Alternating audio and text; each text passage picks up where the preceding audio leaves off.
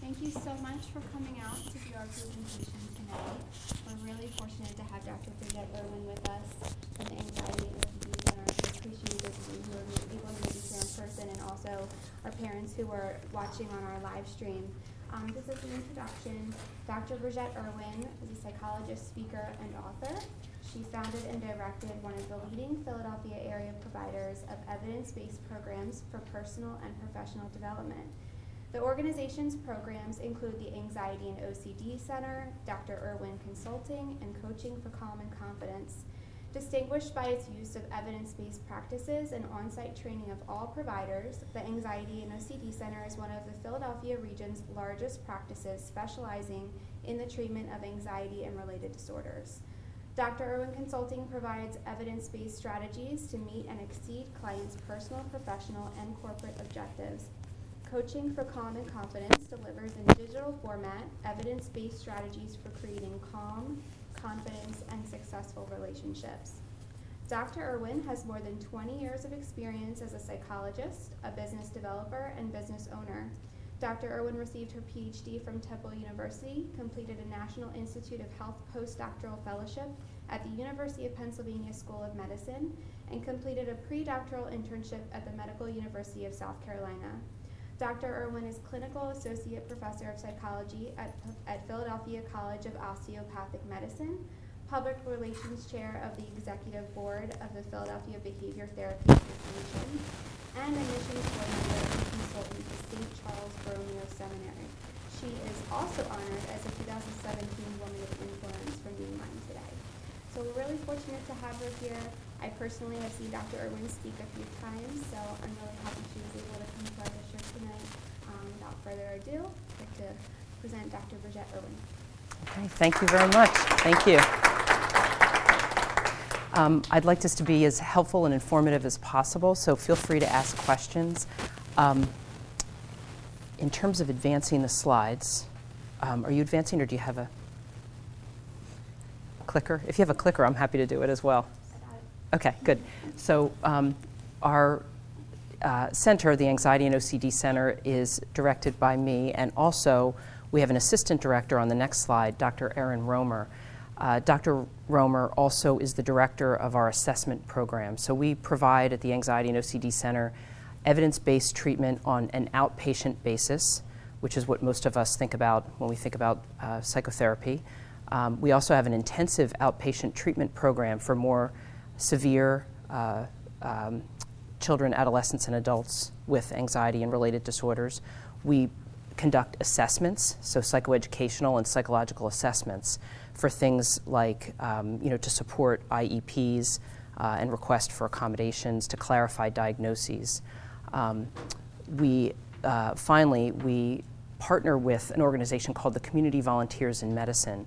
So we seek to provide uh, effective treatment to everyone regardless of ability to pay. The Community Volunteers in Medicine services the bottom 3% of the income bracket. Um, so we really strive to disseminate effective treatment. That's a significant problem in our field, the dissemination of effective treatment across settings, uh, both among providers in terms of the training and their ability to disseminate it, and also in terms of the um, availability to uh, consumers or patients. Okay, so so um, as I started to say, I, I prepared a brief presentation um, really covering three points. The first is what is anxiety, the distinction between stress and anxiety. So what does anxiety look like? It manifests itself very differently in different people. Um, the second is to strongly make the point that anxiety is treatable. We do have effective treatment that, um, depending on the study you look at, uh, during a a trial of treatment is 75 to 85 percent effective. It creates significant improvement in 75 to 80 percent, 85 percent of the um, cases. Uh, treatment outcomes are best with the right supports from family and school. That's the third point that I want to make. And that becomes imperative in cases of more severe anxiety and in cases of treatment resistant anxiety.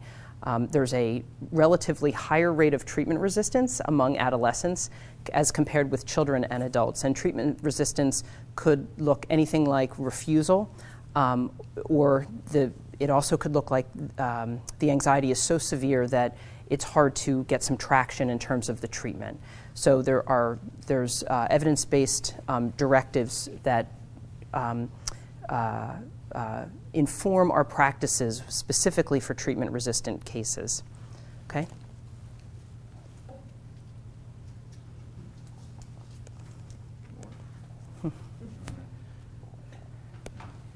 Yeah. okay. So for all of the psychiatric disorders, think about them as existing on a continuum. So there's a there's a line in the sand over which we call a particular problem a disorder. But before we get to that line, it, any one of us, we'll probably all have symptoms of, at, from time to time, stress and anxiety. Um, so stress is distinguished from problematic anxiety, number one, by a matter of degree, but there's also other differences between the two. Um, so the stress, feelings of stress are less severe, as I just explained.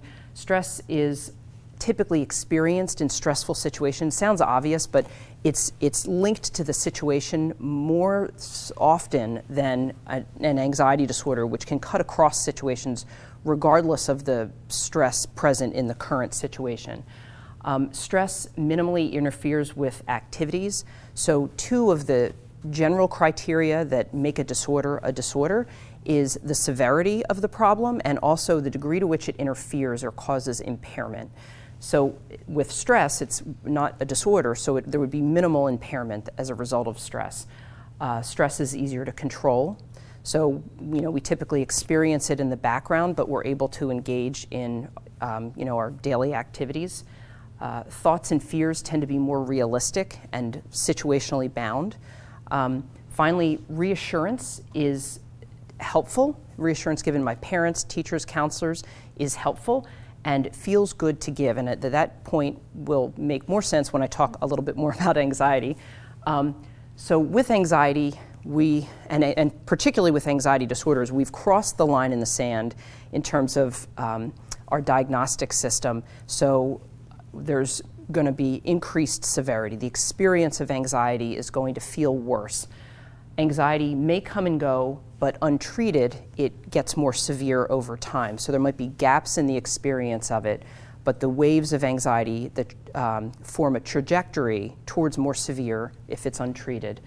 Um, uh, anxiety interferes with, so there's impairment associated with anxiety. Unlike stress, there is impairment. So you'll notice, um, you know, absences from school, inability to work, inability to sleep or eat, um, excessive reassurance seeking, in an unproductive way. Um, anxiety is hard to control, so the uh, efforts that the student and the parents and the teachers and the counselors implement to try to assist with the anxiety is um, they're less effective uh, if the anxiety is untreated and more severe, and especially if those the mechanisms that the student uses are um, some of the mechanisms are maladaptive. Avoidance is an obvious example of that. So it's, it's going to be less effective.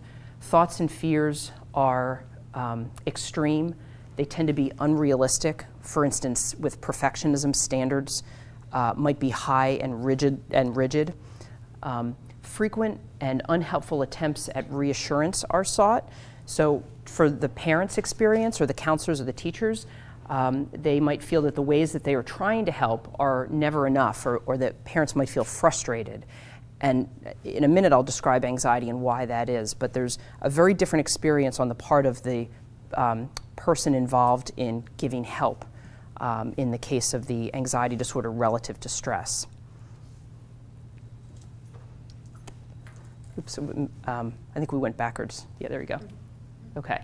So as I said at the beginning, anxiety looks different for different people. We have, first of all, we have different anxiety disorders, but second of all, anxiety is, and, and all emotions, um, thank you. Does that, perfect, thank you. um, are characterized by the way we think, so the, you know, the situation we're in, the demands of the situation, the assumptions we have, kind of all, all uh, form the cognitive uh, component of emotion. So that anxiety and all emotion is formed by the way we think, how we feel, both emotionally and physically, physiologically, and how we respond. So those three things form a feedback loop for anxiety, but they also create significant differences in how students experience anxiety. So here are some examples um, of ways in which anxiety presents. So the first is worry about many different topics. Um, generalized anxiety disorder is one of the anxiety disorders, and it's really characterized by uncontrollable worry about a variety of topics. It could be anything, it tends to be daily life matters, nothing sort of outside of the ordinary of any of our lives. It's just that the anxiety and worry associated with it is excessive. Um, the second is social and performance anxiety. So social anxiety disorder is characterized by social and or performance anxiety. Um, social anxiety disorder can be very general. So, um, you know, when we think of the word shy, shyness is not a diagnosis, but it's kind of like a, you know, the word we sometimes use to describe somebody with social anxiety disorder. Uh, that might be a word that would describe somebody who is anxious across social situations, but it also can be very specific. So, for instance, a student who is anxious talking with authority figures, or anxiety uh, as a result of public speaking would be examples of anxiety, social anxiety that is very specific. The third is panic attacks. Um, so, panic attacks have been described, or panic disorder has been described as fear of fear, which um, is pretty much what it is. Um, people with panic disorder are anxious, are, are uh, experience anxiety as a result of their own physical anxiety. So, I'll contrast that with a simple example of um, a child who's afraid of a dog. So the anxiety trigger in that case is the dog. Um, in the presence of a dog, the child is, is more anxious and the child might run in response to that. With panic disorder, the dog, if you will, is the, is the student's own anxiety. So any changes, any physical changes, physiological changes, and they can be very subtle. For instance, blood pressure, um, sweating, um, uh, heart rate, trigger a response, an anxiety response to those subtle changes. Now, that anxiety response, of course, is going to create more changes that are not subtle anymore, which is going to create more anxiety about those physical symptoms, which then creates more physical symptoms and more anxiety about the physical symptoms, so forth and so on, such that it quickly leads to a panic attack. Um, so I just wanted to explain what panic disorder is. Panic disorder can, e- or panic attacks can even occur uh, in the middle of the night while uh, people with panic attack or panic disorder are sleeping. So I, I mention that just to point out the, the um, sensitivity to even subtle physiological changes and um, how it becomes a conditioned response, so conditioned that it can occur in the middle of the night when the person is not conscious or awake. Um, avoidance of situations can happen across disorders. Uh, there's a particular disorder that really is characterized by avoidance. It's called agoraphobia. And it is when people avoid situations uh, because, of because they fear panic attacks. Um, and again, avoidance of situations can be very specific. For instance, I don't want to give a speech at school, um, or I don't want to go to school, or it could be very broad. So uh, you know, a more severe manifestation of that would be somebody who is afraid to leave the home for fear of a panic attack. Um, the next one is anxiety after traumatic experiences. So there's there's a, uh, an anxiety disorder called post-traumatic stress disorder. There's a couple of other disorders that kind of go along with that, acute stress disorder, but just for our purposes, I'll speak about post-traumatic stress disorder. And what that is um, is the, the when people experience a traumatic event, there's normal, um, there's a normal reaction that goes along with that, including you know emotional arousal, hyperarousal, exaggerated startle response. With post-traumatic stress disorder, also called PTSD, long after the traumatic event has ended, though that reaction persists.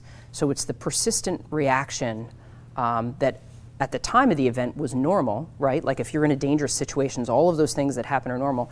But the reaction to that doesn't go away after the traumatic event uh, has, has ended. That's post traumatic st- uh, stress disorder. Fear of separation is um, uh, what occurs in the case of separation anxiety disorder. So, separation anxiety disorder is a childhood disorder. Um, ch- children grow up into adults. So um, it looks like something when the child grows up into an adult, into adult. So some there are manifestations of anxiety in adulthood that look very similar to separation anxiety disorder, and um, uh, um, frequently adults who have those symptoms have had separation anxiety disorder as children. And finally, there's specific fears, and here's just two examples, but there's lots of examples. Dogs, um, emetophobia is a common one, so fear of vomiting. Um, we see that a lot. Uh, fear of things like fear of heights, we don't see as much, but fear of flying, so specific fears that can cause uh, an anxiety response. So let me see if I can get going in the right direction here. Okay. OCD, up until recently, OCD was considered an anxiety disorder, formally speaking. Um, recently, our diagnostic system uh, was changed such that OCD was separated out of the anxiety disorders and now it's its own family. Um, really, for our purposes, OCD and all of the anxiety disorders function the same way and are treated the same way. We change our language a little bit with OCD. Um, and OCD does have some different, different ways in which it expresses itself relative to the other anxiety disorders. Uh, I listed some examples, some common examples that we see at the Anxiety and OCD Center. Um, some of them we've actually, I'm sure you're all fam- familiar with because we hear about them in, uh, you know, on television, um, in the media. So contamination is a common one. Um, perfectionism is maybe not all of us think of uh, I would say severe perfectionism if it falls in the OCD category. We don't think about it as OCD, but it can fall in the category, frequently falls in the category of OCD. Um, fear of harm to self or others. So uh, many uh, children and adolescents and adults with OCD have what we call intrusive thoughts, um, and they can include uh, thoughts like, "What if I harm my mom? What if I harm, you know, my friend? Uh, what if I harm myself?" Um, and that's very different from um, individuals who have suicidal uh, ideation and homicidal ideation. So it's a very important distinction to make, but it's a common uh, manifestation of OCD. OCD tends to gravitate towards topics that are taboo uh, and scary, and very scary for the individual. So that one is uh, one that we see frequently. Um, similarly, aggressive uh, obsessions, and I wrote that the child is afraid of because I'm trying to make the distinction between children who are aggressive and children who fear they might be aggressive, which is the latter of which is what we would see in the context of OCD. Religious obsessions and scrupulosity, um, intrusive sexual or inappropriate thoughts. As I said, OCD gravitates towards topics that are tab- taboo. So um, the thought, what if I'm gay? Is one that we commonly see among children with this form of OCD, which again, I mentioned that one because it's, it's to be distinguished from children who are actually questioning whether they're gay. So, what if I'm gay in the context of OCD um, creates a lot of discomfort and fear and confusion, much more than you would see. There's other distinctions too, but much more than you would see from a child who is questioning that. Um, finally, there is something called not quite right OCD. And what that term was used to give a label to the experience of things not feeling right. It's a very nebulous kind of thing to describe, but certain children with OCD have the need to feel right, and it could include having a right thought, a right emotional feeling, a right physical feeling. And when they don't get that right feeling, they engage in a lot of compulsions or rituals to try to get that right feeling. Okay. I also wanted to cover two different manifestations of OCD. So, so far we've covered the, the disorders so that we're clear about kind of like the scope of anxiety disorders. But in our experience, in our clinical practice, there, um, regardless of disorder, so cutting across disorders, there are two very different manifestations of anxiety in children and adolescents. And I think when I go through these, you'll, you'll be familiar with, um, you'll have had experiences with, with both of them. So there is high emotion forms of anxiety. This is usually pretty obvious, this form of anxiety. It might include excessive worrying or temper tantrums and crying, frequent requests to go home, um, frequent requests to go to the nurse's office, school refusal, frequent tardiness or unexcused absences, and absences on significant days. There is also what we call low emotion anxiety, so internalizing, kids who internalize. And it tends to be less obvious. They're, they tend to be very quiet or remote. Um, they might take an excessive amount of time to finish work. They might be highly perfectionistic and kind of rigid in their thinking. Um, there's more avoidance and skipping things like lunch or other responsibilities. Hoarding, by the way, is a subtype of OCD, so that occurs more in the context of low emotion, low emotional expression. Uh, there's an excessive amount of questions or reassurance seeking seen here. There's perfectionism at school, procrastination on assignments, and substance use, substance use and abuse is more common in this circumstance. Um, we see children that I, I use the term atypical uh, perfectionists, that um, if you think of perfectionism as a vertical continuum, uh, there are children who strive to reach the standard of perfectionism, and they tend to be more of the high emotion, uh, anxious children.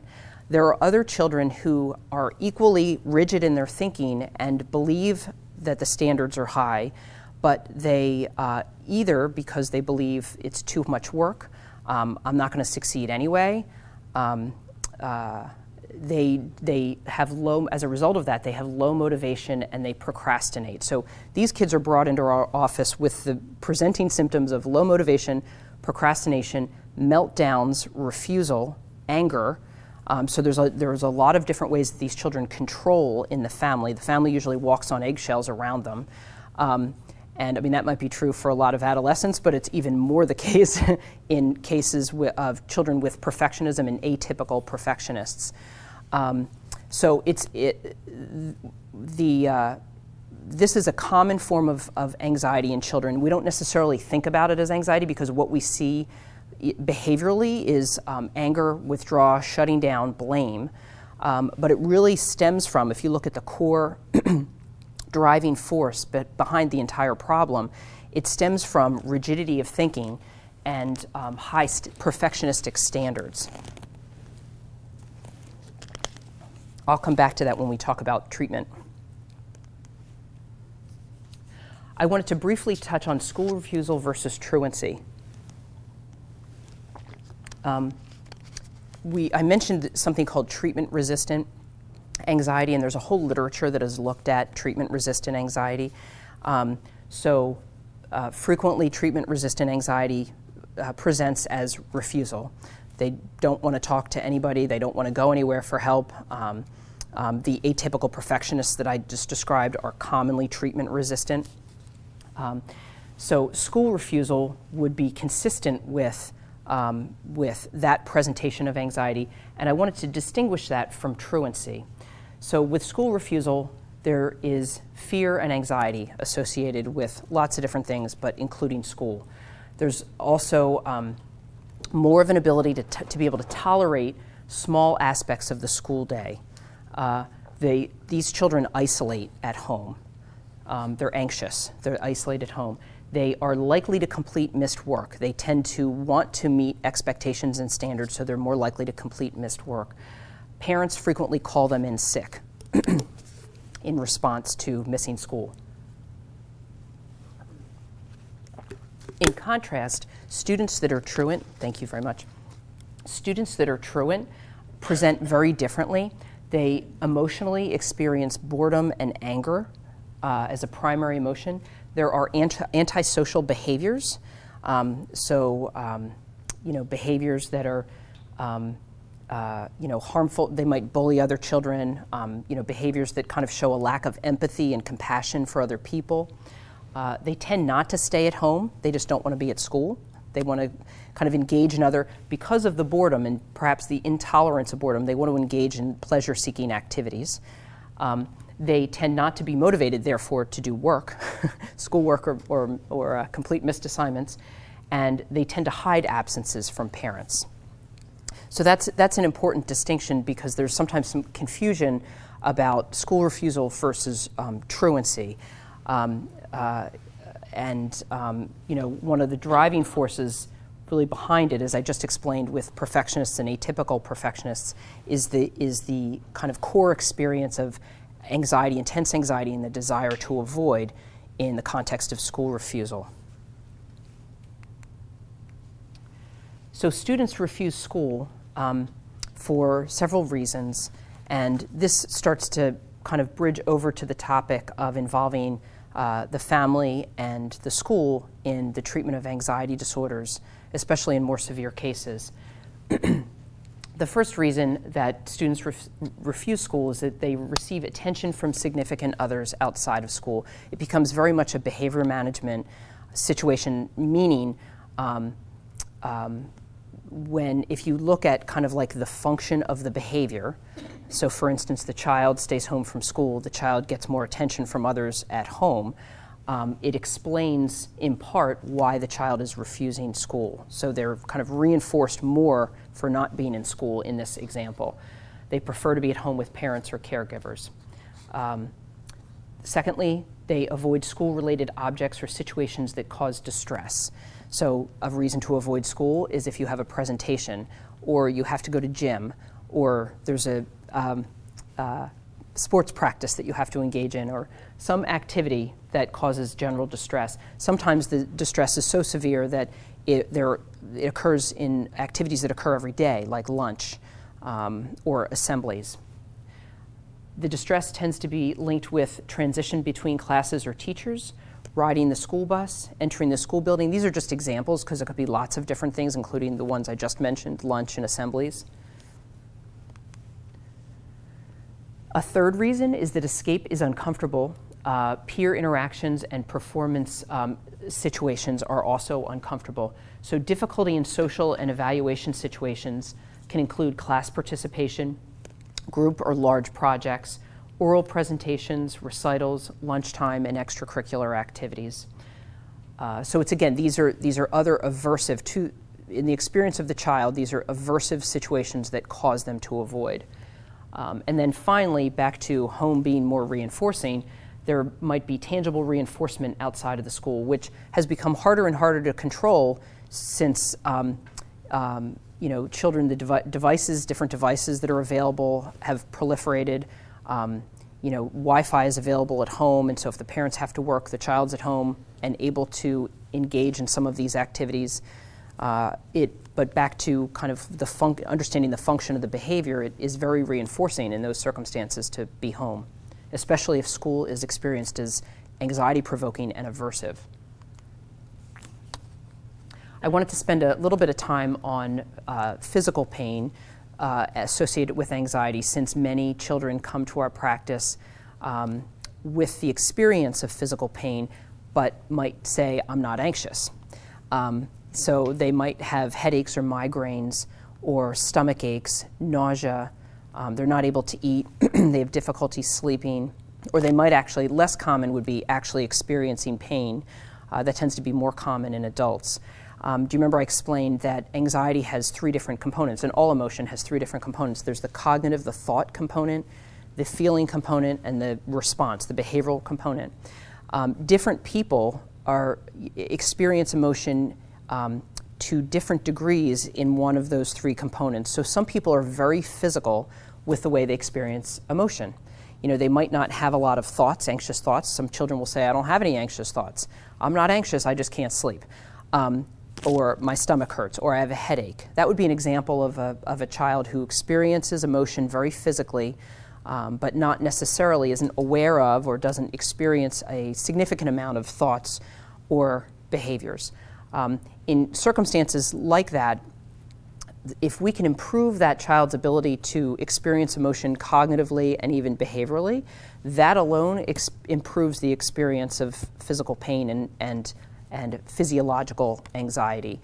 Yes? Can the fight, flight, the fight or flight part, can that make them crash, make, and make them not want to be responsive to anything, and then eventually become belligerent, and things like that? Which reminds me of what I was describing uh, with respect to um, atypical perfectionists. Um, so yes, absolutely. Um, um, um, if if they feel a significant amount of stress, right? So you're asking about fight or flight. So that would be stress.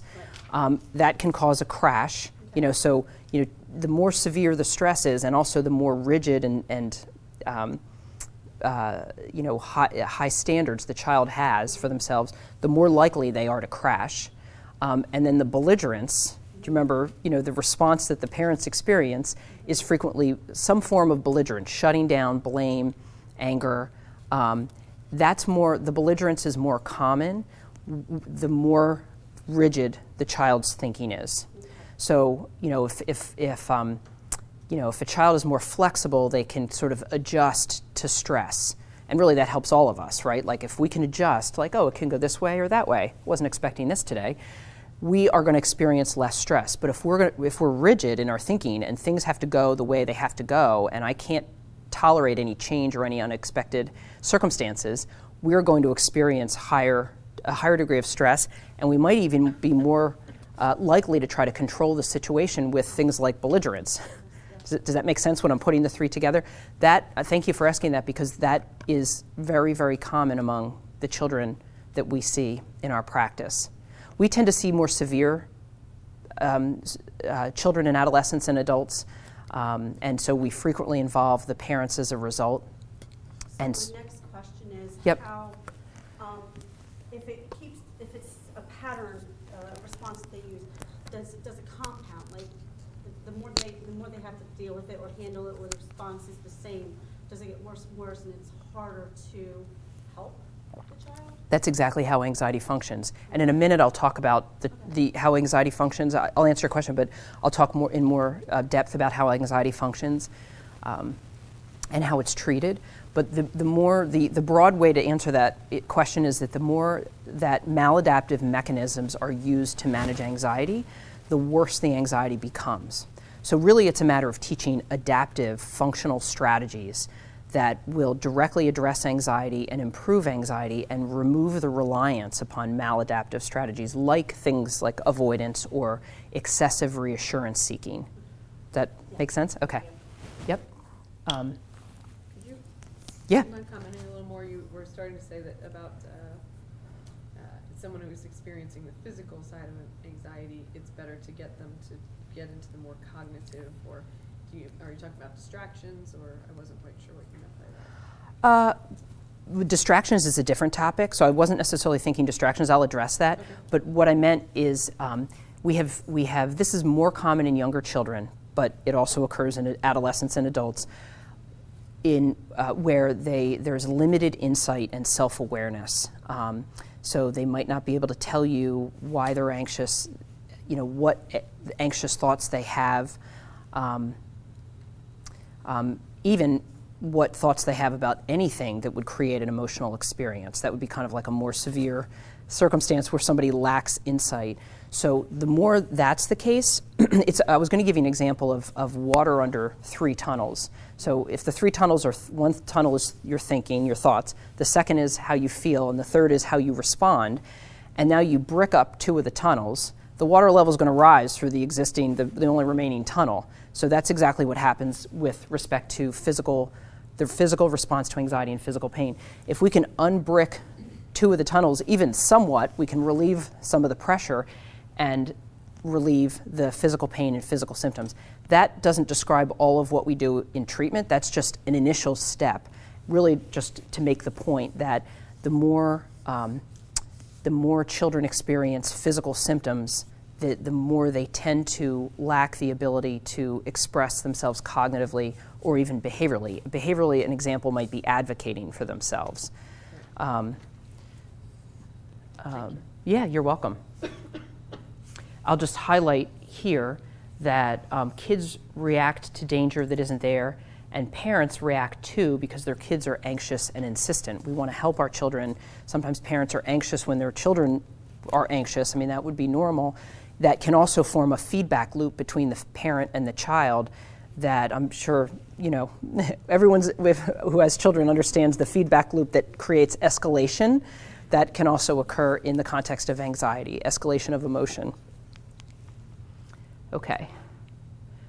Um, I made the point at the beginning that uh, just like drugs, you know, medications are studied uh, in clinical trials and medications are prescribed um, in such a way that um, we know this medication has been approved for this particular disorder.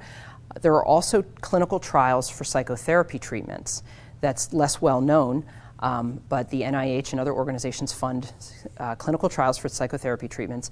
So for many of these disorders, we know what is effective. You know, we're always trying to improve our knowledge, but especially in the last 30 to 40 years, uh, the anxiety disorders and OCD in particular has experienced a sea change in terms of what we know to be effective. Probably 30, 40 years ago, antipsychotics were prescribed for um, OCD, and really there was very little to be done in, in, in, uh, with respect to psychotherapy.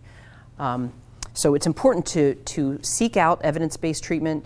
Um, there are organizations, I have on the last slide, two organizations that uh, really their mission is to educate uh, consumers. Part of their mission is to educate consumers about the evidence based interventions for different disorders. One is called the Anxiety and Depression Association of America, one is called, the other is called the um, OC Foundation, the International OC Foundation. So it's important to seek out evidence based treatment and also providers who are trained in this treatment. Um, there's a distinction between coping strategies and treatment interventions that I'll make. Um, uh, many times, coping strategies are taught, and coping strategies are good. We all need coping strategies. Really, what the effect of coping strategies um, is that it takes an emotion at whatever level you know it, it, it is, and it lowers that emotion temporarily. That's a good thing. That's not going to provide sustained treatment. So, treatment interventions are designed to target the particular problem that is creating chronic emotion and uh, create change at that level such that emotion isn't chronic in a long standing way, if that makes sense. So it's di- distinguished from um, coping strategies. So there's, with respect to the evidence based treatment of the anxiety disorders, there's a lot of literature, extensive literature, supporting something called cognitive behavioral treatment. Are you all familiar with cognitive behavioral treatment? It really is a very large umbrella term to refer to the first line treatment for a lot of different disorders. And the cognitive part just refers to the fact that the way we think and the appraisals we make matter, right? They're, they're part of why, when we're anxious, they're part of why we're anxious. Um, the behavioral part targets the person's response to their anxiety. So, in the case of chronic anxiety, problematic anxiety, uh, these responses become um, uh, you know, maladaptive responses become used repetitively. It's almost like the example of pain. If the pain is not so bad, we can kind of make it through our day and not change how we behave. But if pain is more severe, we're going to start to react to the pain. We might limp or sit down or lie down. It's going to start to change our behavior. So the behavioral component of cognitive behavioral treatment targets the ways in which our emotional reaction changes our behavior.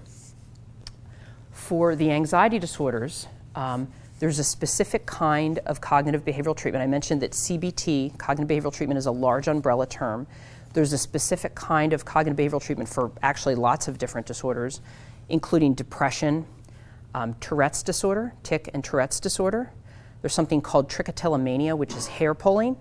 So there are specific kinds of CBT interventions for disorders like that and for anxiety disorders the one for anxiety disorders is called exposure with response prevention, and I'll explain shortly what that is. Um, so this slide just lists the uh, evidence for the effectiveness of uh, exposure with response prevention in both adults uh, and children. Recently, uh, relatively speaking, in 2004, there was a study that came out of Penn called the POTS study, that was a very significant study that provided a lot of evidence, significant amount of evidence supporting uh, exposure with response prevention and also looked at the role of medication in the treatment of anxiety and OCD. Um, cognitive behavioral treatment with or without medication is more effective than medication alone. Many people don't want their children on medication, but there are people who want to just seek out medication without psychotherapy. So there have been studies that have looked at that. Medication will uh, the, the first line medication treatments for the anxiety disorders are the SSRIs, the antidepressants. That stands for selective serotonin reuptake inhibitors. And really, the effect of those is that it takes a, the, an emotion at whatever level and it lowers it as long as you're on the medication and as long as the medication is working for you. If you go off the medication, it'll just go right back up. So that's actually pretty helpful, um, but it's not going to permanently treat the underlying problem. And it's not necessary to treat the underlying problem except in the most severe cases of anxiety. Um, Yes? So you're not including depression in any of this? You're looking at anxiety as a standalone? Right. And not as a component of depression? And many of the research studies, unless they say otherwise, isolate particular disorders.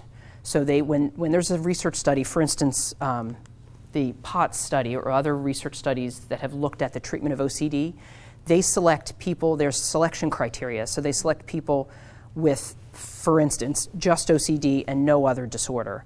The selection criteria is different for different studies, but they, it, they really don't want confounding variables that make it hard to say, hey, this treatment works. And so a confounding variable might be a comorbid disorder, right? Comorbid disorder means it's a, another disorder that goes along with the first disorder. So one of the downsides of these research studies is it's not real life, right? Like in real life, there's a lot of comor- the word comorbidity means you have multiple disorders. So in real life, there's a high rate of comorbidity. Uh, in these research studies, they don't want a lot of comorbidity because they want to see whether this treatment works. Um, there are studies that have looked at the effectiveness of these treatments for comorbid problems, and it um, um, with depression. I'll just briefly address depression for a second. With depression, a, the most common manifestation of depression in the context of an anxiety disorder um, is, the, is that the depression is experienced really um, as a consequence of high anxiety. Um, so we can even see that in maybe less severe circumstances if we're anxious about something in our own lives. You know, there's a particular you know life-changing event. Uh, we might feel anxious and then we might feel depressed afterwards or down a bit. That occurs in a more significant way for people with anxiety disorders. So bouts of anxiety are followed by bouts of depression. And that's very different from depression that is experienced no matter what right? No matter whether things are good or bad, I'm depressed. That's a different kind of depression. So that's good news that the more common manifestation is that it's a consequence of anxiety because it helps us kind of target our resources towards the anxiety. We treat the depression as well, but really if we're going to, you know, target resources, we want to treat the anxiety so that it improves not only the anxiety but also the depression. Okay. So looking, let me just make sure I'm on the right slide. Uh, looking at the POTS study, um, which looked at children and adolescents with OCD. The recommendations that have, have come from that study are that children and adolescents with OCD should start with either CBT or alone, alone or the combination of CBT and medication. So I'm, I'm including this slide just so that we can look at what does the research say about what's effective for anxiety. So either CBT alone or the combination of CBT and medicine. Family involvement in the treatment of pediatric OCD is necessary. We'll come back to why I've mentioned that a couple of times. We'll come back to that. Therapist experience matters. That's the point I was making before when I talked about the distinction between coping strategies and effective treatment strategies. Um, you know, one of the sort of um, uh, uh, problems in our field, and, and, and there have been a lot of interventions that have tried to target the problem of disseminating effective treatments to provide to the you know providers broadly. It tends to be less of a problem in the medical field. So when there's new um, treatments available, they, the dissemination tends to be quicker than in the mental health field. So therapist experience matters. Okay, so in the next um, group of slides, I'm going to talk about direct treatment of the child, but the reason I label this section direct treatment of the child is I'd also like to talk about how do we include the family and the school in the treatment of uh, anxiety disorders in, in children and adolescents. So let me take this opportunity to explain how anxiety works. Um, so I use the example of pain. You know, when pain is, you know, I talked about stress and anxiety. So when pain is mild, it doesn't really create a maladaptive response. We make it through the day. When it's more severe, it starts to affect our behavior. Anxiety is no different. So, just to define terms briefly, a trigger of anxiety is anything that causes anxiety. The word obsession, in the, in, for, in the context of obsessive compulsive disorder, is really just a trigger of anxiety. It's anything that triggers anxiety, and really it can be anything. It could be a thought, uh, a memory, a feeling, it could be a circumstance the person encounters.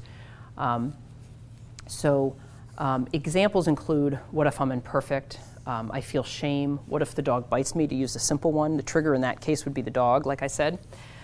Then, down at the bottom, the terms response, ritual, and compulsion are all synonyms. Just like trigger and obsession are synonyms, response, ritual, and compulsion are synonyms.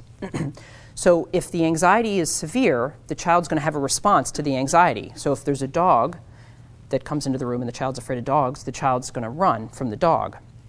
We would call that a response. We would also call it a ritual. Um, in the context of OCD, the word compulsion is used to refer to the person's response to the obsession. So here I define these terms as um, any thought or action that a person feels driven to perform and which causes anxiety to suddenly decrease. So, this sort of like quick decrease in anxiety is the characteristic experience of using a compulsion or ritual. So, for instance, if the child runs from the dog and gets away, he's going to be more quickly relieved of the anxiety than if he's staying around the dog. Um, other examples would include trying to be perfect or to achieve high standards. Um, avoidance or school refusal is a common one. And those tended to be pretty fixed, right? I mean, being afraid of dogs, you're usually afraid of dogs always, until you work on the issue. But like with the perfectionism, it's not as if the kid, um, like kind of ruminates on the issue of not being perfect one day, and then the next day picks something else to kind of fixate on. It varies. Yeah, that's a good question.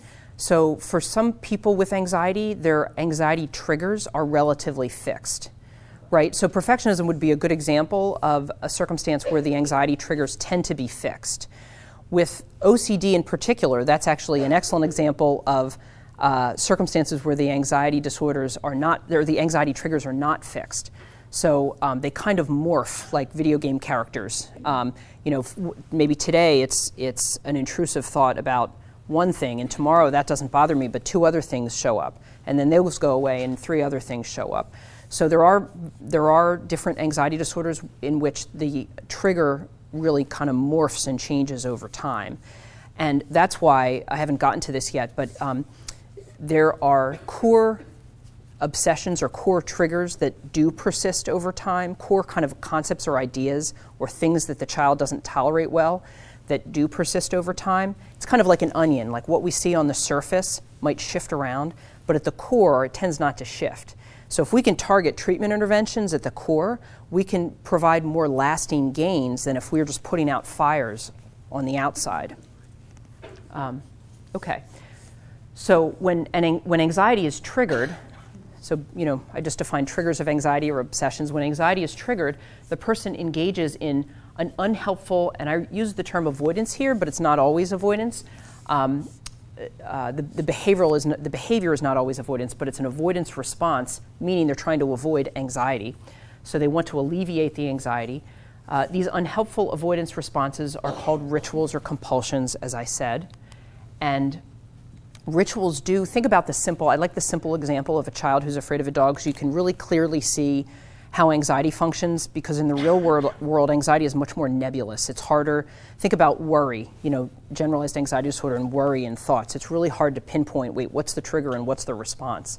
So if we take the example of a child who's afraid of a dog um, and he runs he feels better. Not only does he feel less anxious but he's relieved of his fears. His thought you know the thoughts associated with his fears are relieved.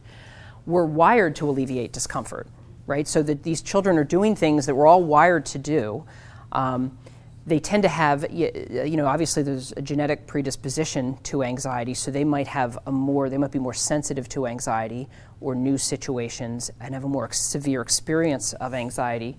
Um, rituals are therefore used repeatedly to alleviate anxiety. So think about if, if you could picture a graph with just a series of bell curves, that really characterizes chronic anxiety. So um, the, you know, moving up the one side of the first bell curve is the trigger of anxiety. So the dog triggers anxiety, the child runs. So two things are reinforced there. Number one, um, when he runs, the trigger is reinforced. So meaning the, the fact that dogs are dangerous and to be avoided. So we've just reinforced the fear by running. But secondly, we've reinforced the utilization of avoidance or running as the way to alleviate the fear.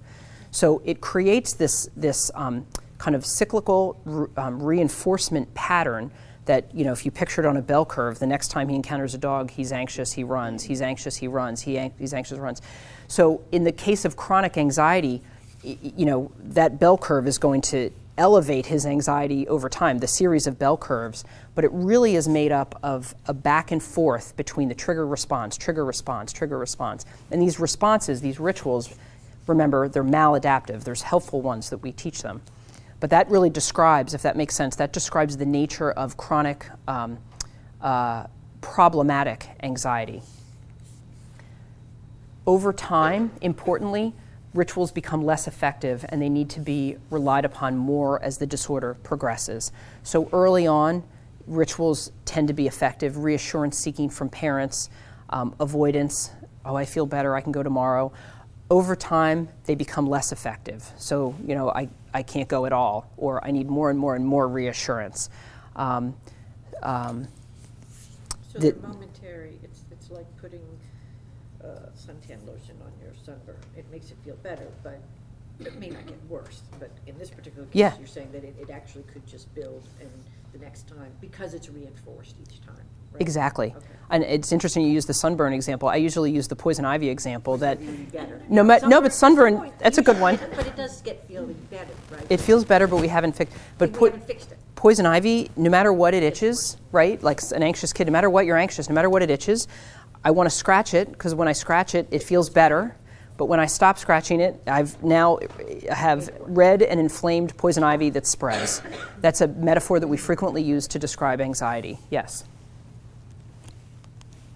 Um, behaviors used in rituals, this is an important point, are not inherently wrong.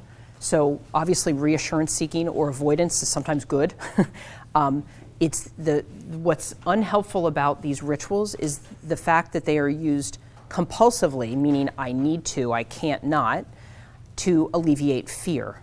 So anything can be a ritual. That's an, an important distinction. They're not inherently wrong. It's just the utilization of of that strategy, whatever the strategy is, compulsively out of fear in a, in a repetitive way is what's maladaptive.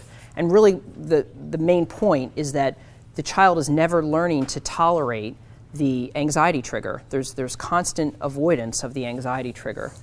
Um, so here I say, just as an example, hand washing um, is not inherently bad. Um, we are a lot healthier now than in the Middle Ages because we wash our hands. But many hours of repetitive hand washing out of fear to alleviate fear uh, obviously is unhelpful. So it's not the hand washing, it's the use of the hand washing to alleviate my fear. But the initial hand washing works to alleviate the fear. Exactly. It's just that the fear response increases, so you need to increase how much hand washing you're doing now to get rid of that anxiety. Exactly, exactly. And OCD in particular, that's an OCD example. The more the disorder progresses, the more unrealistic the fear triggers become.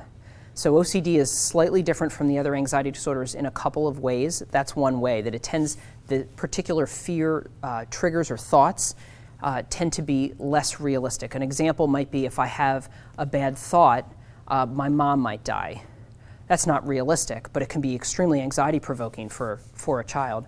Uh, with contamination, if I washed my hands, you know, initially it might be relieving, but months to years down the line, I wash my hands, there's a what if I didn't wash them well enough?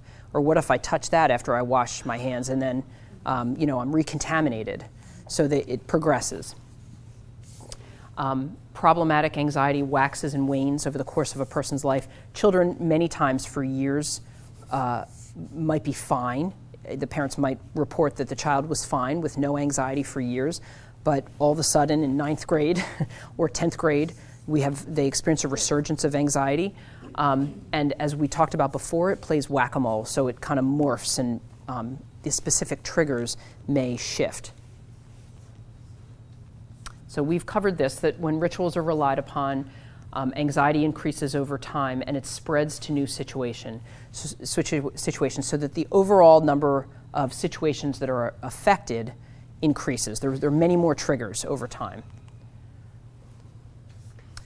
Importantly, the child does not learn when he uses or she uses a ritual that anxiety comes and goes on its own. I'll talk about normal emotion in a minute. And also that feared consequences are highly unlikely, but, but they can handle them if they happen. Some, sometimes, um, you know, in, in the implementation of CBT, um, it's sometimes taught incorrectly that the goal of treatment here is to prove that the bad thing won't happen. We don't have that luxury.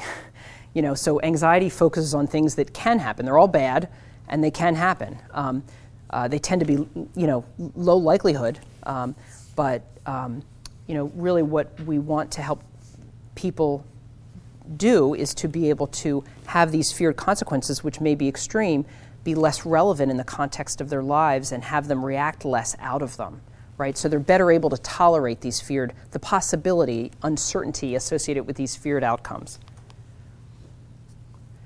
Normal emotion, if you think about back to the bell curve, um, picture another graph with you know kind of like a, a bell curve that subsides and doesn't doesn't kind of um, include uh, anxiety becoming triggered again. Normal emotion is that we experience emotion in different situations and it comes and goes. We don't necessarily respond to remove to eliminate the emotion. We're able to respond according to the demands of the situation. So an example might be a test or a quiz. If I'm anxious, it would be normal to be anxious, right? But if it, we're talking about normal emotion, anxiety is operative in the background and actually good because it makes me care and study. Um, and I'm able to, you know, engage, study for the test, engage in the test. Anxiety might increase, peak, and taper off, and without with with uh, little negative impact. That's normal emotion. Grief also, sadness and grief. Um, you know, something happens. We we um, have experienced a loss of a loved one a loss of a student, like I know this district has.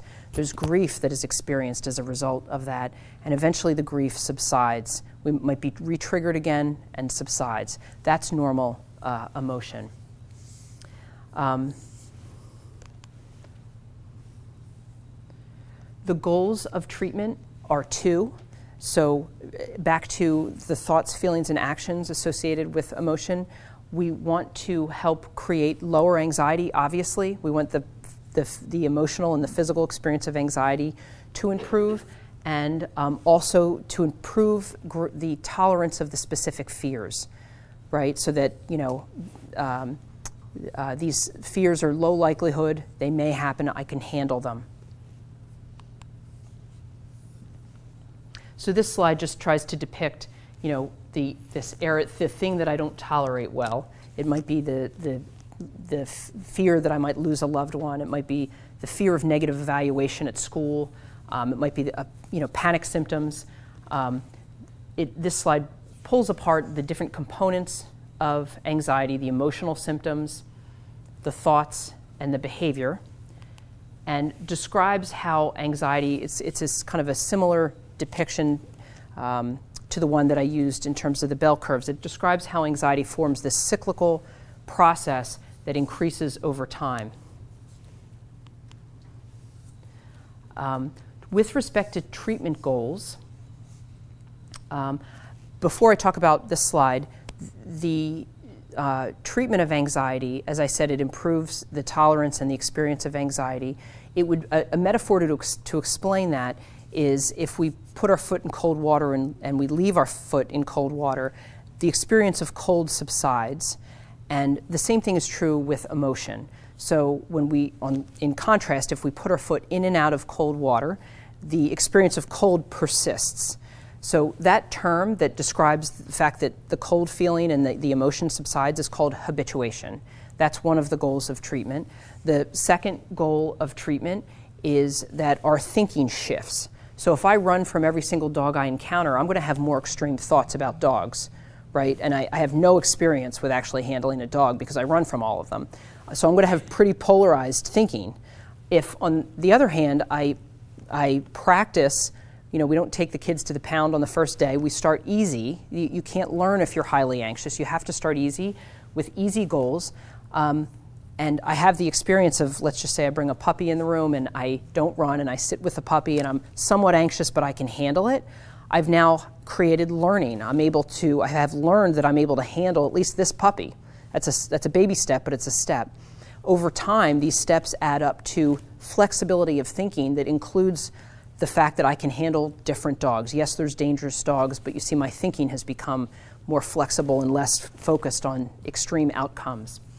So here what is depicted is the fact that there are easy and medium and difficult goals. When parents bring their kids into treatment, they are not bringing their kids in for the easy goals. They're bringing their kids in because there's difficult situations that they can't surmount.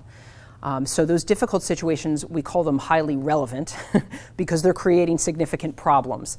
Um, like the child won't go to school, won't get on the bus, um, won't, you know, doesn't have friends, um, so there's significant problems. Maybe there's a lot of anger and belligerence, outbursts at home. Um, those difficult problems have easier and medium manifestations. Those easy and medium manifestations are less relevant, right? Kind of they go together. That's, you know, it makes sense that if they're easy, they're not creating as much interference. So we don't care about them as much. And if we only had them, we wouldn't be in treatment. We care about them very much because they as I said, it's very difficult to learn if a child is highly anxious. Um, so they are excellent avenues through which we can um, access uh, whatever factors are making the difficult, highly relevant situations as difficult as they are. So we can, we can access them. They're avenues through which we can create change. And what's nice about that is what typically happens is that the difficult goals become easier before we even get there. Um, now, sometimes it's helpful and necessary to work on the difficult goals right away. That's, you know, we, we don't have the luxury of waiting. And so we do that, um, but we don't ignore these easy to medium goals because they're, they're our greatest weapon against anxiety. Yes? So as parents, how do we get an adolescent or a young adult who might need some Mhm. how do we get them to kind of see that? Because at a certain point, you know, we can't put a teenager in a car, we can't force a teenager in a car to get to help, you know, like. Right. So. That's called how- treatment resistance, by the way. Yeah. yeah. How does one, how do you suggest that if there's parents out here with students that might meet some of those criteria, how do we right. get Do you remember? Do you remember I talked about the feedback loop between the parent and the child, right? Um, parents, and, and this is part of what I'm going to cover as well, but thank you for asking the question. Parents necessarily play a role um, in, you know, in the lives of all of our children. Um, when we have an anxious child, the parent is responding in some way to that anxious child. So, in the case of treatment resistance, treatment resistance again is the child won't go. And by the way, many do. Many come and, you know, talk with us and work with us. But we do, as I said, we see more severe um, children and adolescents in our practice. So there are some who, who don't or who have said five words to me in a year, right? um, uh, it is imperative to include the parent and, with consent, the school. So I mentioned at the beginning of the talk that there's a there's um, a whole research literature that is focused on how to treat treatment-resistant anxiety disorders, and one of the biggest factors is including the parents in the school. The other factors that go along with that is because of the severity and the resistance, right, to treatment. Um, it tends to pull for reactions. So the child's anxiety tends to pull specific reactions from family members and school personnel that tend to be in either the over accommodating or under accommodating category. Um, so I guess my point here is that there are ways in which we can intervene with the parents to help create and promote improvement in the child and even motivation. Um, and also, the second point is it's actually very necessary to do that in the case of treatment resistance. Uh, over accommodations, I'll just reiterate this over accommodating and under accommodating treatment resistant anxiety is the biggest predictive variable. So if we don't correct it, these, those children have very poor outcomes. If we do correct it, the over accommodating and under accommodating, I'll give you an example in a minute of what I mean there. We have, we have very good outcomes in terms of treatment. So, an example of over accommodating is the walking on eggshells around the child. You know, whatever the child wants, like, let's just do it because we have to get out. And it might be realistic, like, you can't do anything or get out the door if we don't kind of, um, you know, alleviate this child's anxiety. That can form, that can form into a pattern of over accommodation in, the, in a family. Under accommodating would be just get in the car and do it, right? That would be under accommodating. Um, one of the points here with this, this slide is that we have very different goals depending on how difficult the situation is. And right here, I use the term accommodations. This is like a little bit of a segue off your question, but it's an important point. I use the term accommodations to, to highlight the fact that when we're working in very difficult situations, and even children here who have 504s or IEPs need accommodations, they're meant to level the playing field um, such that that child is evaluated um, you know, in a way that is unencumbered by the disorder, evaluated based on their aptitude. Um, uh, but it's also, it's, you know, they're also necessary um, uh, in order to be, to effectively treat anxiety. I, I use the example of not taking the child to the pound on the first day. Um, we can't effectively treat anxiety if the child is so highly anxious that they can't learn or uh, functionally be in a situation. So, you know, it would be okay to accommodate and say, look, we'll put the dog in the basement at your friend's house until we get to that level of, of treatment. So, um, those accommodations are actually very important. It's just that, back to your question, in the context of families, that the child's anxiety pulls for extremes that need to be corrected. So, does that make sense? My answer that we need to, how do you get a kid in the car? Um, we need to involve, if the child really will not come, we have to involve the parents, and it's very effective to involve the parents. Does that make sense? It makes sense. Yeah. It's, it's just harder when you have older kids, like, um, you know. On the other side of that, Yeah. which was, I was gonna ask a question, is, well, I mean, we're talking about pretty concrete anxiety triggers Mm-hmm. In your examples, because Yeah. it helps us see what you're talking about. Yeah. But one of the other things you mentioned way back at the beginning was what the panic attack thing. Yes. Which is hard to identify what the trigger is, because Exactly. the child or the adult or whoever is experiencing doesn't know what it is that originated it. And, and that's, that's difficult because I, I, I feel like that, this is where I'm, I'm, I'm having trouble figuring out where would the treatment, how does the treatment work? Because they, unless you put them on some kind of monitor that says, oh, you're experiencing this and your heart rate has just, it just started climbing. Mhm. And you, you haven't been doing anything. And that's the one that I'm, it's, it's easy when, when they're concrete, it's a fear of a dog or That's right. whatever. But You're right. So I'm interested in how this works with like panic Yeah. I guess. And it's a good, it is a good question. The reason I give the example of the dog, as I said, is it's very simple and Right. concrete. So you could see the fact that it's unhelpful to run all the time, Right. right? Um, n- anxiety is typically not that easy, Right. It's very nebulous. So um, there are behavioral rituals, right? So or manifestations of anxiety, but most of anxiety occurs in our thoughts. Yeah. So you can't see our thoughts, Right. right? You can't see your child's thoughts. Right. Um, so it's um, we like to start with behavioral rituals. So even in the case of panic, Yeah. there are circumstances that are more likely to trigger panic than others. Um, it might be things like extra. It's different for different people. These are just examples. So it could be exercise, things that kind of create physiological arousal, um, caffeine, exercise, crowded hallways, heat, getting hot or sweaty, um, not sitting near the door, sitting in the middle of a movie like a row of seats at the movie theater sitting in the middle. So there are circumstances that make the person with panic more likely to get anxious. Um, So they trigger the internal, the body, Ex- the. the physical symptoms of anxiety, yes.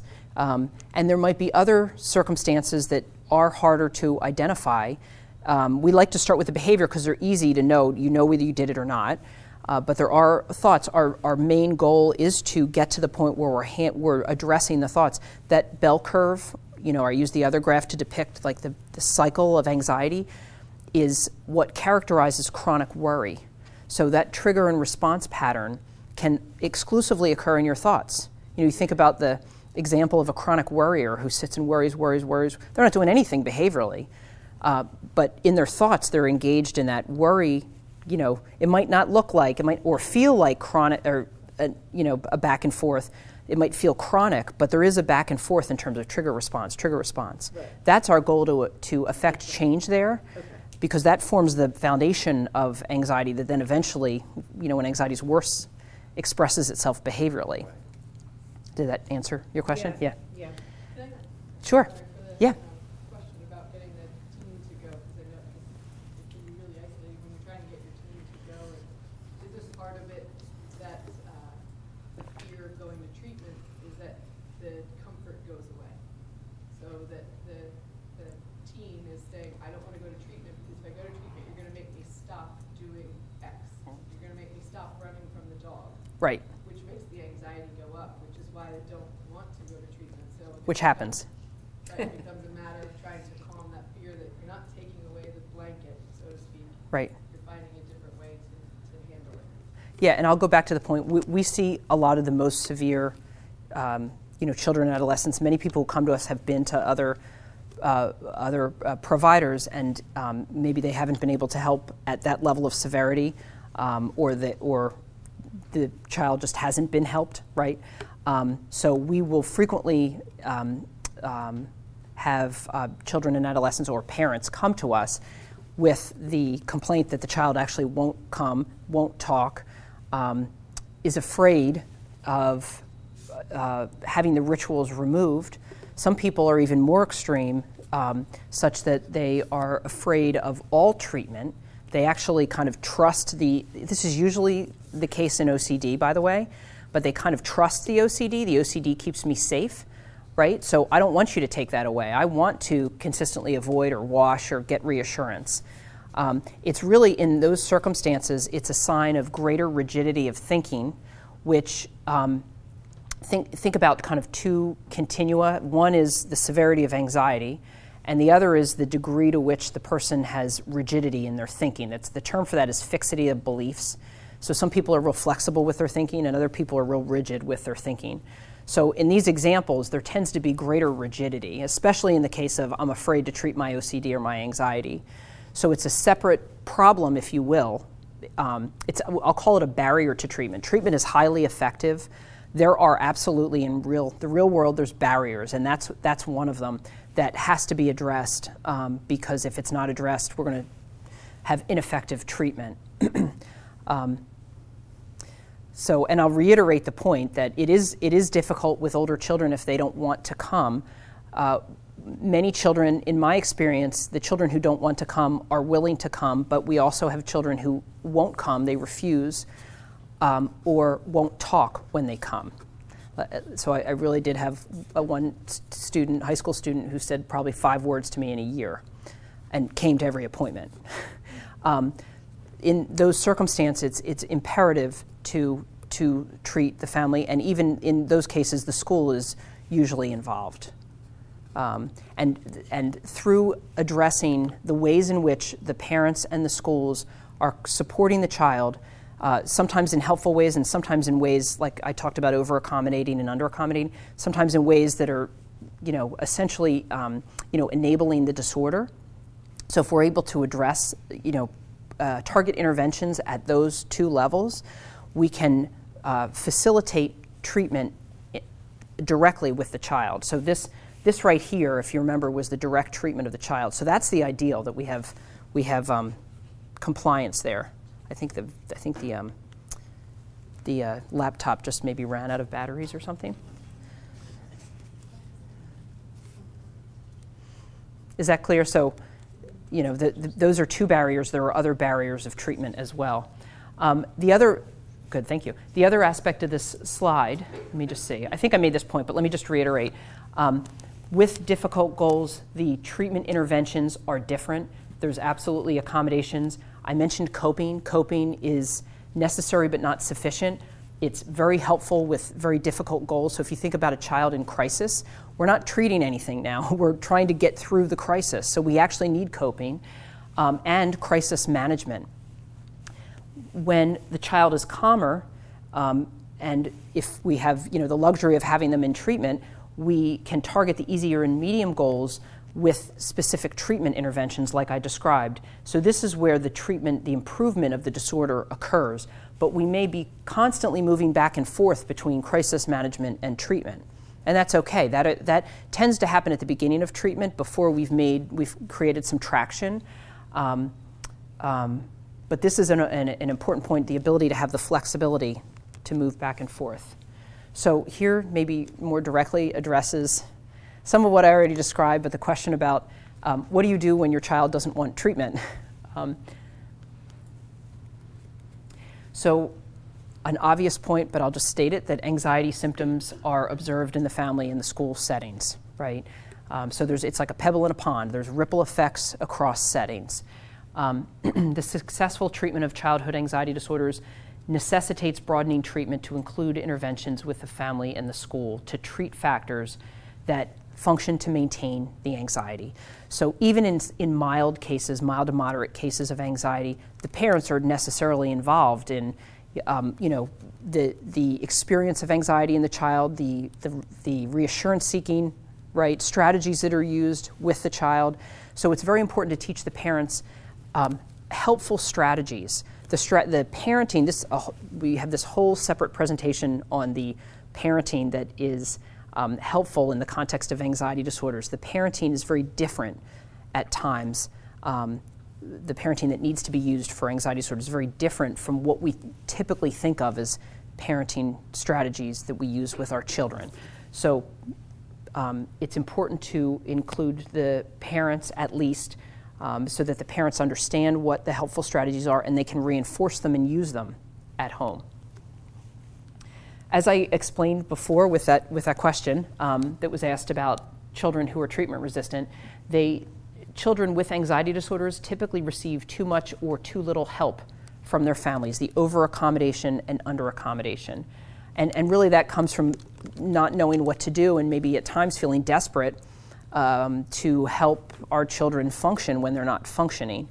Um, so increased, uh, the research literature has, has studied this phenomenon. And um, I included some findings here.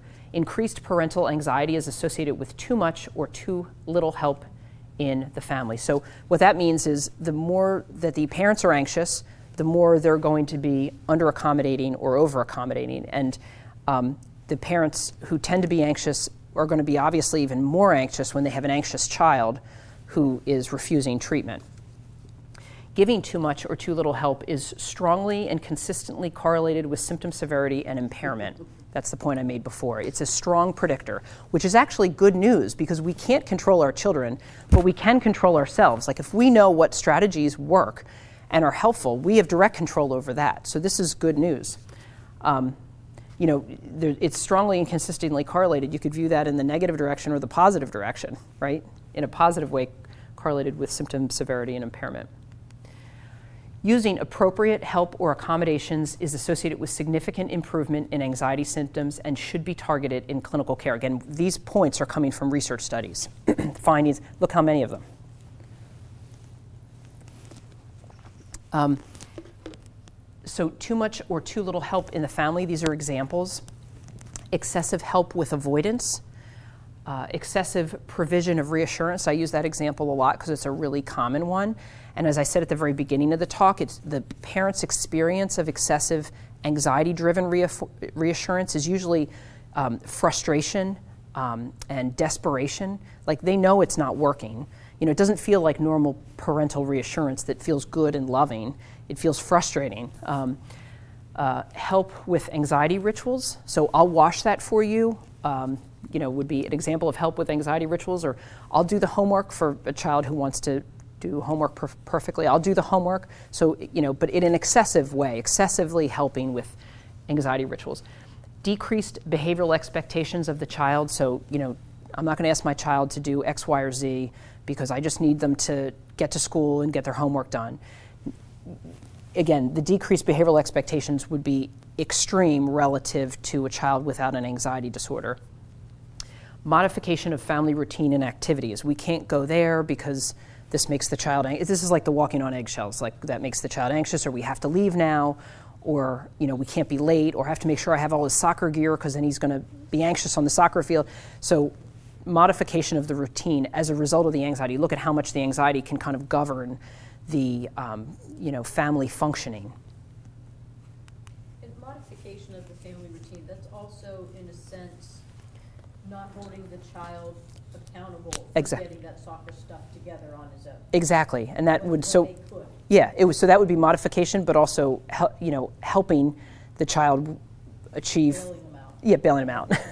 potential Anxiety response. Mhm. Um, so too many or too few accommodations can be observed in school settings at times as well. So anxiety can look like refusal or other behavioral problems, and this is especially in younger children, where there's there might be some confusion about whether it's you know the term is behavioral. It just means like they're acting out, they're just refusing, um, and you know it might not be apparent that the child is anxious. One of the one of the criteria of anxiety that you'll notice, and if you look at the childhood anxiety disorders, it'll say this disorder, when it presents itself in a child, might look very behavioral. it might look refusal like refusal, or there's tantrums. Um, so, so it kind of contributes to the confusion.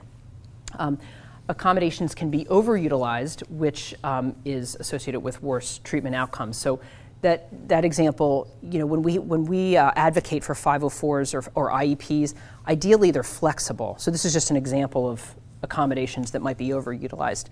Those those accommodations, ideally, in the case of emotional distress, are flexible. And as we create improvement, the accommodations are modified. Um, to account for the improvement.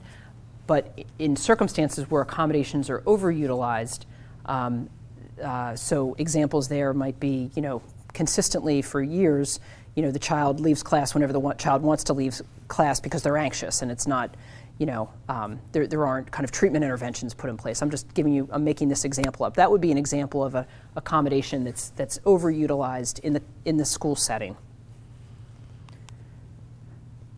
Um, you might all know what this is, but the 504 plan or individualized education plans, these are examples of, of accommodations, and I wrote at the top temporary. Sometimes they're not temporary, they're, they're permanent, but as I said, ideally we want them to be flexible. We don't want them there.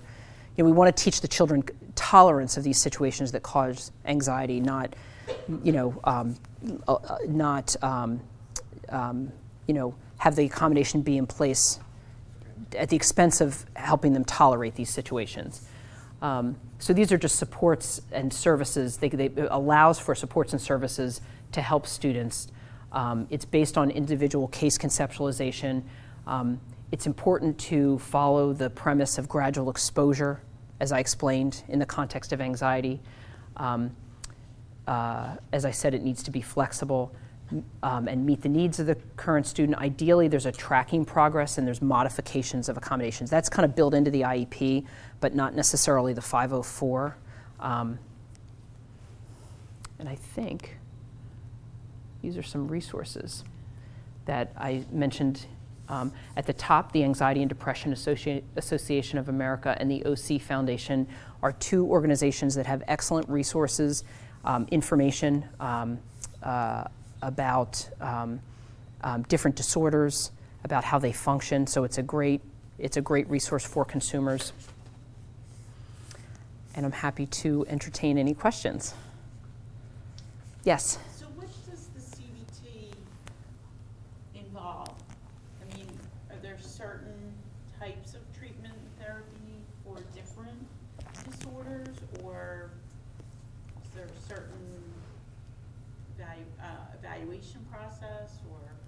Yeah. So CBT, there are different, slightly different kinds of CBT interventions for different disorders. There's a CBT for depression, for instance, um, and what it involves for anxiety uh, is um, understanding. There needs to be an assessment, right, so that we understand what the disorder is, and as I talked about, the the scale, the the range of easy to medium to hard triggers of anxiety.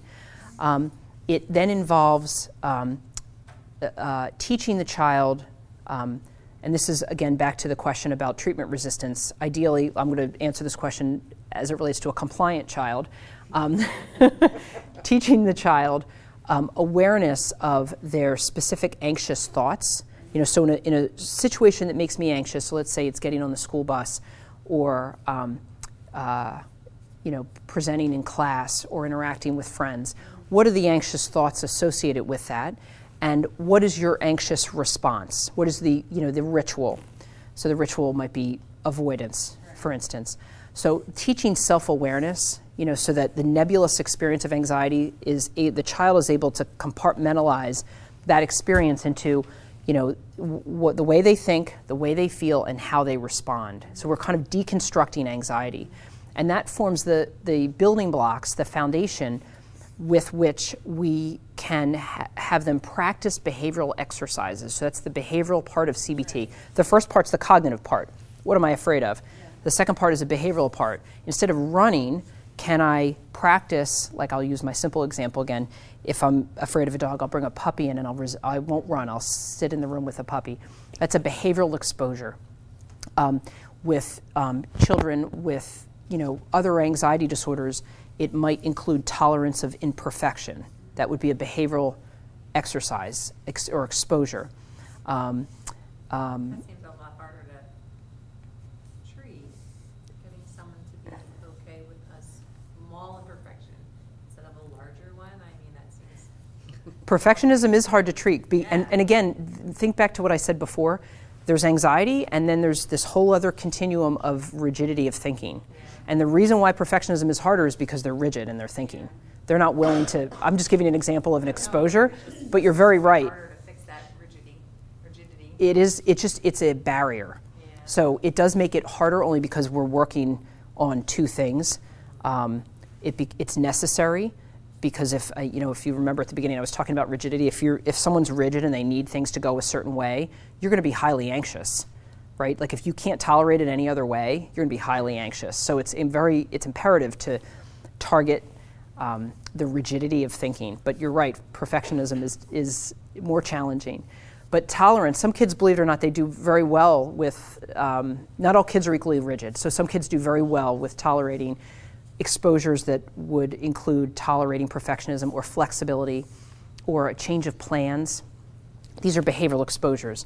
Um, um, not knowing the plan, um, transitions, like transitioning from you know um, dinner to getting ready for bed to bed, or transitioning between classes.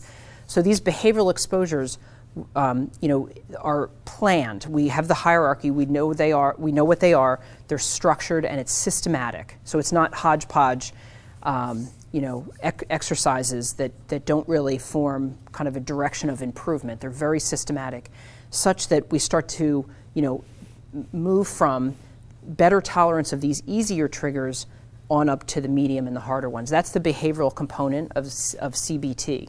Then the treatment part is I then feel less anxious and I'm more tolerant of these situations.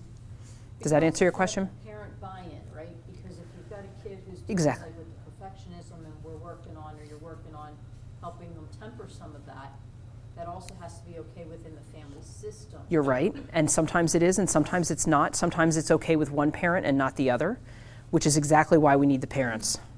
You know, if, if, if we're talking mild, a case of mild anxiety, we don't need each, we don't need that, the parent, parental involvement becomes less important. We do need them because they're reinforcing the treatment goals at home. But in the case of more like rigid anxiety and more severe anxiety, that's exactly what we see that, uh, you know, in clinical practice. Um, and it makes sense. I mean, you know, if we have a child who's rigid and anxious, we might have a parent who's rigid and doesn't like the treatment goal, right? Yeah. Any other questions? Okay, so I'm going back to the more difficult to diagnose. Yep. The- I'll say diagnose, but Yeah. talk about the assessment process. So, let's say you have a, and, and the other thing is, like, we talked all along here where I would assume most of your clients are people who their anxiety is impeding or hampering their ability to function. hmm So how do you, if you know there's an anxiety issue, but there appears to be no impact on ability to function, except when the anxiety happens, which Mhm. is not every day, it's, and, so, how do you, how do you assess those situations and how, I mean, I, If you don't know the trigger. because you don't know what the trigger Right. is, and the child doesn't know what the trigger is. Or, but they might, as you said, they, they might, but It's not evident. it's not evident. And which makes it more frustrating for the parent, Mhm. because, and for the child, because they never know when it's going to exhibit itself. Right. There are always vestiges, like when anxiety is problematic, in times when it's not problematic, there are vestiges of There- the there- anxiety. They may not be seen as problematic, right? Right. But, but they are um, present when the anxiety is problematic and need to be addressed. So in the assessment, can you get to them? Yeah, absolutely. Like, yeah, good. And I realize the time too, Yeah, so yeah. sorry. No, no, no, that's okay. Is that There okay? could be genetic factors, there could be Yeah. toxins, there could be diet, there, you know, like, there's so many other variables. Or is that part of the assessment process as well? Um, It depends on the circumstance, right? Uh, So our normal assessment process is a clinical interview. We have circumstances or, or children with more complex histories, and we have an assessment program that we implement in those circumstances. So, Now, Yeah. uh, Would we be allowed to keep your present, your, your Yeah. up for a little while, the video up? and I, I even, I can put this in handout form and email it, either in this form or handout form, you have it, whatever you prefer. The handout form are just smaller, so you don't have so many pieces of I paper. mean, like, for example, the YouTube, because it's always nice to have your explanation with the slides as well. Is it possible for the district to leave the YouTube up for a little bit? If you're- I'm fine with that, yeah. Make sure you yeah. are okay with that. Yeah, oh yeah, yes, yeah. So, thank you very much for having me. Thank you. Yeah. Thank you. Hmm. Thank you. Dr. Erwin did bring some of her brochures Yeah, thank you. and then I also have some additional